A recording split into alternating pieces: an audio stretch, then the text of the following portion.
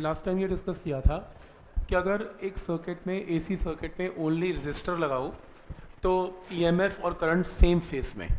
Same face का मतलब phase difference zero phase difference zero का मतलब है कि ईएमएफ और करंट एक ही phase means omega t omega t phase है। और इंडक्टर के अंदर E M F E naught sine omega t तो करंट की वैल्यू पाई बाय टू पीछे है। और उसी तरीके से कैपेसिटर में करंट पाई बाय टू आगे ये तीन चीज़ें हमने की।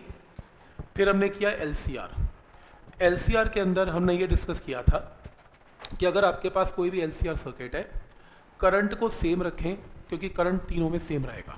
करंट को चेंज ना करें। और रजिस्टर के अंदर current and voltage same phase में तो दोनों वेक्टर सेम डायरेक्शन में। इंडक्टर में वोल्टेज आगे है करंट पीछे है, और कैपेसिटर में वोल्टेज पीछे और करंट आगे है। यहाँ तक कोई डाउट ठीक है? अगर मैं इन तीनों को कंबाइन करूँ तो ये रिज़ल्ट बनता है जिसमें ये वी आर है जिसमें ये वी एल है और जिसमें ये वी सी है तो अगर इन तीनों को इकट्ठा करें तो आपके पास दो केस बनते हैं मैं दोनों केस यहाँ बना के दिखा देता हूँ कैसा भी कर सकते हैं आप कोई प्रॉब्लम नहीं है तो जैसे ये वी एल है ये वी सी है ये वी आर है ये वी एल है ये वी सी है ये वी आर है तो हमने डिस्कस किया था ये वी एल है ये वी सी है और ये वी आर है ये वी एल है, ये वी सी है और ये वी आर है। तो पहला केस ये कि अगर V L greater than V C जो मैंने अपने डेरिवेशन में एज्यूम किया, अगर V L greater than V C तो वी एल में से वी सी वेक्टर माइनस करके V L minus V C आ जाएगा। इन दोनों का वेक्टर सम कुछ ये बनेगा ऐसे। तो यहाँ पे नेट वोल्टेज या ईएमएफ की जो वैल्यू आएगी वो आएगी under root of V R square plus V L minus V C का होल स्क्वायर ऐसे। तो ये रहा फाइव ई एम एफ़ आगे है करंट से by an angle of phi लेकिन अगर मैं ये एज्यूम करता हूँ कि वी सी बड़ा है वी एल से तो यहाँ पर V C minus V L हो जाएगा। V C minus V L नीचे डायग्राम बनेगा। नीचे डायग्राम में ये नेट वोल्टेज आ जाएगी। तो नेट वोल्टेज की जो वैल्यू है वो आएगी under root of V R का square plus V C minus V L का होल स्क्वायर तो उसमें ई एम एफ़ जो नेट आएगी, वो करंट से क्या आएगी? पीछे आएगी। मर्ज़ी आपकी, कैसा भी डायग्राम ड्रॉ कर सकते हैं, पर मैं इसके साथ ही अपना क्वेश्चन सॉल्व करूँगा।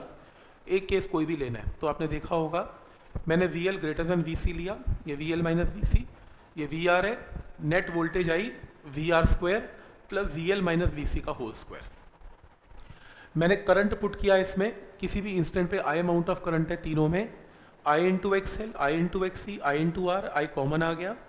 Total voltage by total current total resistance जिसको इम्पिडेंस बोलते हैं इम्पिडेंस का फॉर्मूला गया. इम्पिडेंस के फॉर्मूले में ये नेट वोल्टेज है और ये करंट है. इसमें नेट वोल्टेज आ गया करंट से by angle of phi tan phi की वैल्यू क्या होगी? V L minus V C by V R V L minus V C by V R V L V C V R की values put करके ten five की value आ गई। इसके अंदर अगर एक्स एल एक्स सी के इक्वल है, या टेन फाइव की वैल्यू आ गई, अगर मैं एक राइट एंगल ट्राइंगल से इनको रिप्रेजेंट करूँ टेन फाइव को तो ये टेन फाइव है X L minus X C by R तो पाइथागोरस से z can be calculated z का मतलब under root of R square plus X L minus X C का होल स्क्वायर तो z की वैल्यू आएगी। इसको इम्पिडेंस ट्राइंगल बोलते हैं।